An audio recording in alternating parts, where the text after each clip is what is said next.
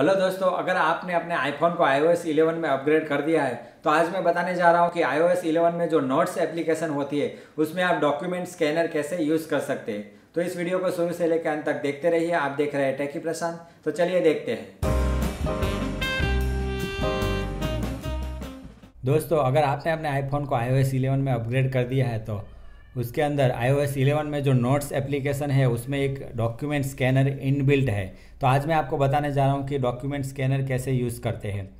तो जब note application में फ़र्स्ट टाइम ओपन कर रहा हूँ, अभी मैंने iOS 11 में अपग्रेड किया है और फ़र्स्ट टाइम मैं नोट्स एप्लीकेशन ओपन कर रहा हूँ तो आपको कुछ ऐसी स्क्रीन मिल जाएगी। यहाँ पे फीचर्स दिया गया है कि document camera easily scan document directly to your notes यानी आप अपने नोट्स के अंदर डायरेक्टली डॉक्यूमेंट स्कैन कर सकते हैं अपने कैमरा के थ्रू कैप्चर करके। कंटिन्यू बटन प्रेस कर देते हैं।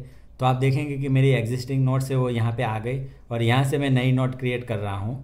तो जैसे मैं नई नोट क्रिएट कर रहा हूँ तो यहाँ पे एक ऑप्शन है आप देखेंगे कि पहले जो एप्लीकेशन थी, उसमें कुछ कम ऑप्शन थे। अभी यहाँ पे कुछ ऑप्शन ऐड हो गए हैं और यहाँ से ऑप्शन है प्लस आपको वो प्लस ऑप्शन प्रेस करना है तो यहाँ पे आपको अलग अलग ऑप्शन मिल जाएगा।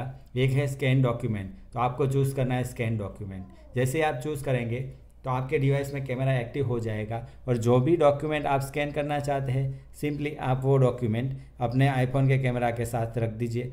तो अपने आप वो जो एज है वो डिटेक्ट कर लेगा और यहाँ पे जो बटन है वो आपको प्रेस करना है। तो अभी मैं अपने डिवाइस के कैमरे के थ्रू आपको बताने जा रहा हूँ कि वो कैसे कैप्चर करते हैं। जैसे आप यहाँ पे रखेंगे तो एज आ गई और मुझे सिंपली यहाँ से टैप करना है। जैसे मैं टैप कर लूँगा तो ये डॉक्यूमेंट जो है वो कैप्चर हो जाएगा। अब यहाँ से मैं ऑप्शन है रीटेक और कीप स्कैन। और यहाँ से मैं अगर ऐसा लगता है कि बाउंड्री वगैरह आपको कुछ क्रॉप करना है मैन्युअली तो यहाँ से उसे आप एडजस्ट कर सकते हैं।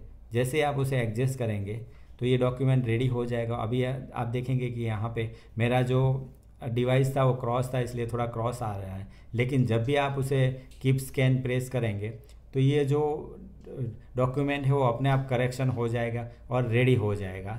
रेडी फॉर नेक्स्ट स्कैन अगर आप मल्टीपल स्कैन करना चाहते हैं तो आप कर सकते हैं। अदरवाइज़ सिंपली आपको प्रेस करना है सेव बटन जैसे सेव बटन प्रेस करेंगे तो आप देखेंगे कि यहाँ पे जो लोकेशन पे आपका कर्सर था, वहाँ पे ये डॉक्यूमेंट आ गया और यहाँ पे ऑप्शन भी है स्कैन डॉक्यूमेंट यानी लेबल भी है।